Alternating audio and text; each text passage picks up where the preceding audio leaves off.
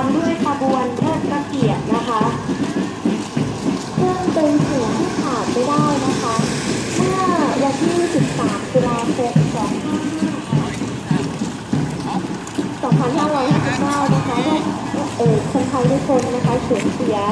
ทั้งใหญ่นะคะก็คือสูญเสียพระบาทสมเด็จพระเจ้าอยู่หัวรัชกาลที่ 9 ไปนะคะก็